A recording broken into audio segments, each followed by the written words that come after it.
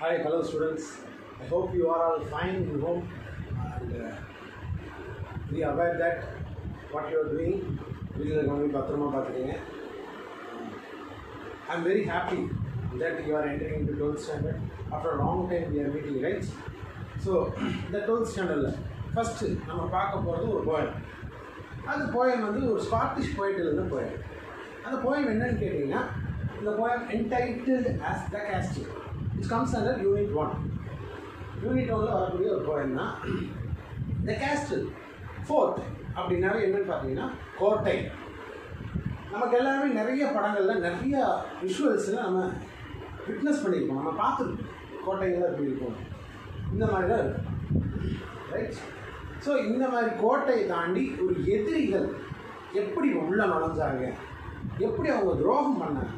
இந்த கோட்டைக்குள்ளே இருந்தவங்க யாரெல்லாம் துரோகம் பண்ணாங்க எப்படி தோற்கடிக்கப்பட்டாங்கன்றதான் இந்த போயம் வரக்கூடிய கான்செப்ட் மிட்டாய் so let's begin with author notes About the author, Edwin Muir was born in 1887 and died at 1959. Was a renowned, நல்ல ஃபேமஸான ஸ்காட்டிஷ் poet, நன்கறிந்த நாவலிஸ்ட் நாவல் எழுதக்கூடியவர் டிரான்ஸ்லேட்டர் ஒரு மொழியிலிருந்து மற்ற மொழிக்கு மொழிமாற்றம் செய்யக்கூடியவர் கிரிட்டிக் கிரிட்டிக்னா குறை கூறுகிறோம். அடுத்தவங்க எழுத்துல குறை சொல்லுவாங்க. இப்போ நம்ம ரிவ்யூ நிறைய பார்ப்போம் இல்லையா?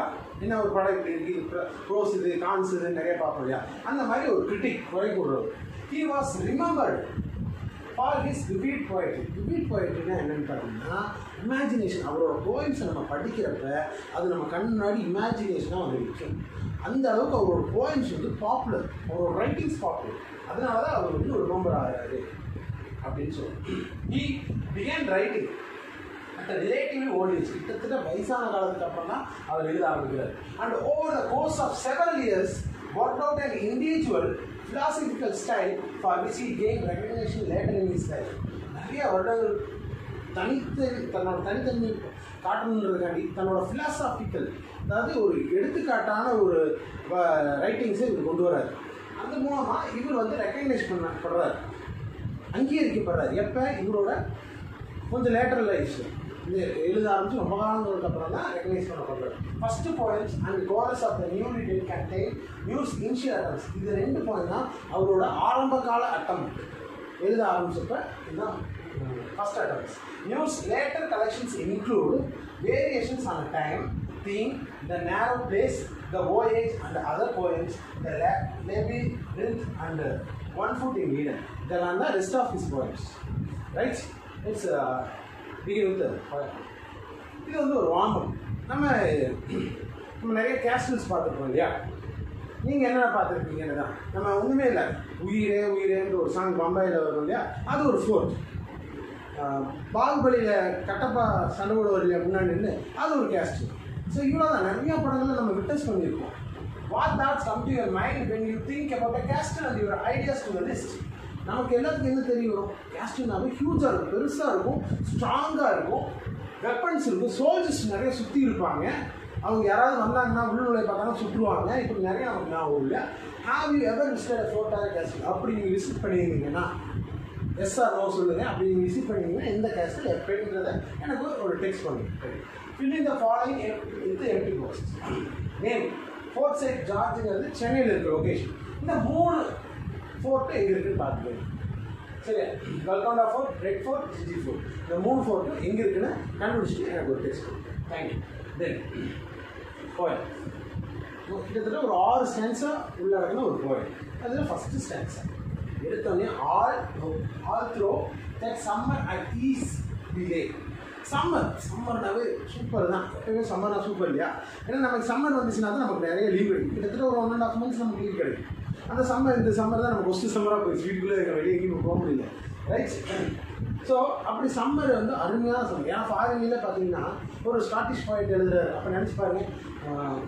ஏன்னா அவங்களாம் வின்டரில் ரொம்ப சஃபர் ஆவாங்க. எப்படா சம்மர் வந்து எதிர்பார்ப்பாங்க. அந்த சம்மர் எப்படி என்ஜாய் பண்ணுவாங்க? அந்த அழகான ஒரு ரம்மியமான ஒரு காலத்தில் வெயில் காலத்தில் and daily from the correct wall correct வாலுங்கிறது ஒரு சின்ன வால் தான்.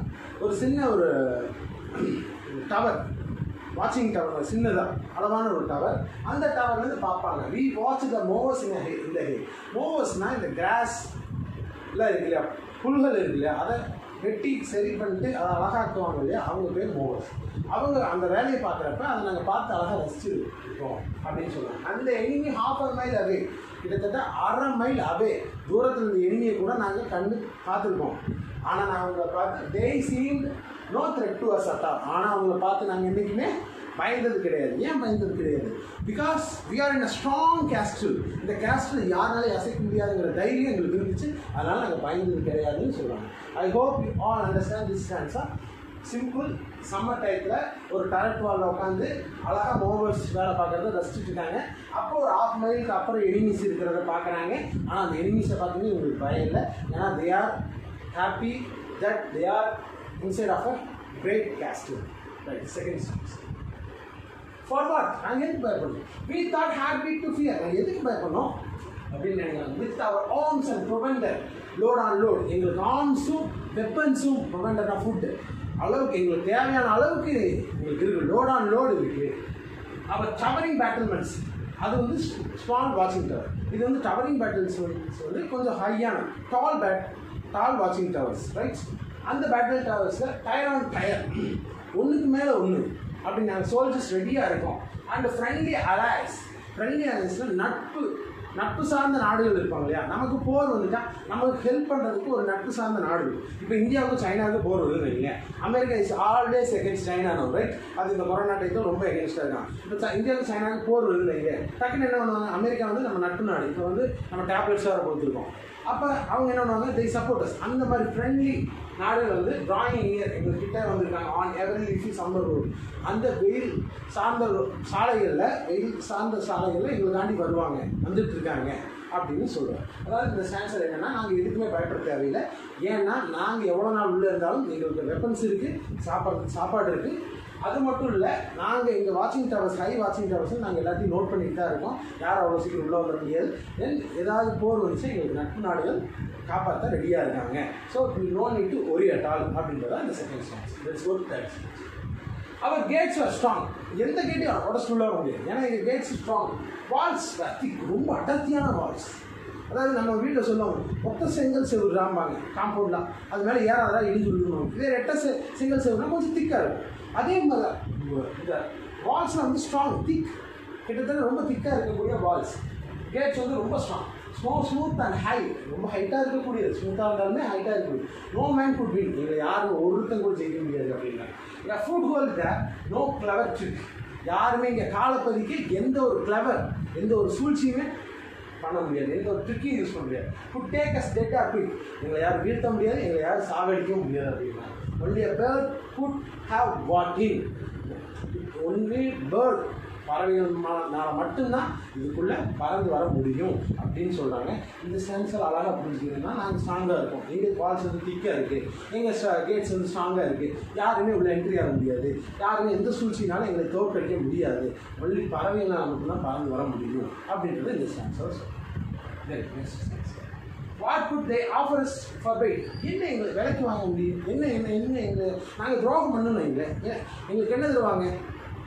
எப்படி என்ன என்ன ஆஃபர் பண்ணுவாங்க? நீ இப்போ இப்போ ஐம்பது வருஷம் தரப்பா. நீ உன்னோட உன்னோட ரகசியத்தை எங்களுக்கு கொடுத்துருப்போம் நாட்டுக்குள்ள எப்படி விளையாடுங்கிற ரகசியத்துக்கு அப்படி என்ன ஆஃபர் பண்ணாலுமே நாங்கள் துரோகிகள் ஆக மாட்டோம். Our captain was brave and be were true எங்கள் கேப்டன் எங்கள் தளபதி எங்கள் தலைவன் ரொம்ப தைரியமானவன் பிரேவானவன் நாங்கள் அவனுக்கு உண்மையாக இருப்போம். துரோகம் பண்ணிட மாட்டோம். There was a little private gate ஆனால் அங்கே ஒரு லிட்டில் ப்ரைவேட் கேட் சின்ன லிட்டில் ப்ரைவேட் கேட் இருந்துச்சு. A little wicket wicket gate அது வந்து ஒரு தேவையில்லாத ஒரு எது ஒரு கிட்டத்தட்ட ஒரு ஒரு மிகப்பெரிய கேஸ்டில் அது தேவையில்லாத ஒரு கேட் அந்த கேட்டை வந்து பாதுகாத்தது யாருன்னா இந்த Richard warder let them through ஒரு ஓல்டு மேன் ரிசர்ட் வார்டர் இந்த சென்ஸ் ஒரு ஓல்டு மேன் என்ன பண்ணிடுறாரு? எதிரிகளை உள்ள நுழைய விட்டுறாரு. நாங்கள்லாம் soldiers as a soldiers we are strong and we are brave and we are true to our captain but இங்கே நடந்தது என்ன? அந்த லிட்டில் ப்ரைவேட் கேட் வழியா யார் உள்ள அனுப்பப்படுறாங்க? எதிரிகள் வந்து அந்த ஓல்டு மேன் மூலமாக உள்ள அனுப்பப்படுறாங்க. அவரு துரோகம் செஞ்சிடறாரு அப்படின்னு சொல்கிறாரு next oh then then our maze of tunnel stone brew thing and echoes as air. எங்களோட எல்லாமே எங்களோட எங்களோட மேஸ் எங்களோட டனல்டு டனல் எல்லாமே வந்து எல்லாமே வந்து அழிஞ்சு போயிருந்தாலுமே அது வந்து காற்று மாதிரி லைட் ஆயிடுச்சு. தீன் வந்து லைட்டாக காற்று மாதிரி லைட் ஆயிடுச்சு. The cause was lost within without a எங்களால் அழுகவும் முடியலை. நாங்கள் தோத்தது நாங்கள் தோத்துட்டோம் ஆல்மோஸ்ட் தோத்துட்டோம். எங்களால் அது வந்து அழுது கூட முடியல.